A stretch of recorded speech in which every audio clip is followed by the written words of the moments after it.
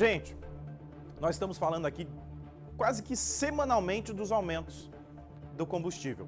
A gasolina acumulou 73% de aumento em 2021, isso no acumulado do ano, tá? Esse reajuste feito pela Petrobras obriga os postos de combustíveis a repassar esses valores altos ao consumidor.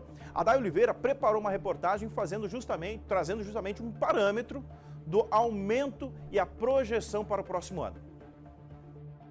Com o aumento dos insumos utilizados pelas distribuidoras e também pelos postos de combustíveis, pequenos reajustes no valor do combustível são frequentes e a escala do ranking entre as cidades com valor mais alto pode mudar a qualquer momento.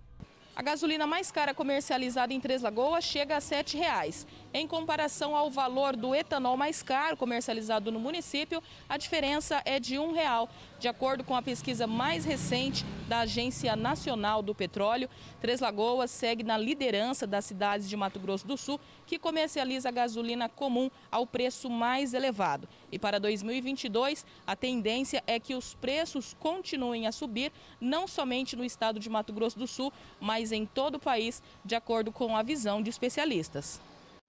Eu continuo acreditando em um preço elevado para 2022, à medida em que teremos uma disputa presidencial muito acirrada, o que pressionará o dólar para uma valorização frente ao real. E também porque o preço do combustível brasileiro, frente aos outros países, ainda está baixo. Hoje, a média internacional do preço da gasolina é de 1 dólar e 22 centes, enquanto no Brasil é de 1 dólar e 15 centes. Mas como o combustível tem praticamente uma relação inelástica entre preço e consumo, ou seja, as pessoas precisam de combustível para ir até o seu trabalho, para escoar a produção, enfim, para tudo. Se o preço continuar subindo, o que acontecerá é uma maior perda no poder de compra do trabalhador. Mesmo assim, Mato Grosso do Sul está entre os 10 estados com o preço da gasolina mais barata, de acordo com a pesquisa da Agência Nacional do Petróleo. O valor médio no estado é de R$ 6,65. Entre os estados mais caros está o Acre, com a média comercializada de R$ 7,28. O consumidor não se sente otimista, mas sabe que a realidade está presente em todo lugar. Eu deixo o carro na garagem e vou a pé. Mas tem hora que não dá, né? Tá a, a alta do combustível tá assim fora do comum, fora da realidade, eu acho. Os responsáveis principais pelo aumento constante no preço do combustível são os valores elevados do dólar e também do barril de petróleo.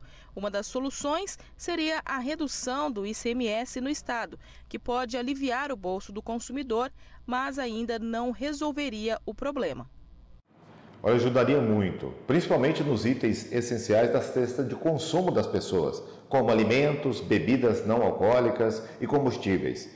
Hoje, o ICMS corresponde ao maior peso da carga tributária dos produtos. No Brasil, isso corresponde a 33% do produto interno bruto, o tamanho da carga tributária. O ICMS responde pelo menos por 40% desse montante. É óbvio que precisamos buscar o equilíbrio entre a redução da carga tributária, a manutenção do Estado e os investimentos que o Estado realiza, pois grande parte do recurso do ICMS também é utilizado para financiar obras, máquinas e equipamentos e traz benefício para as pessoas.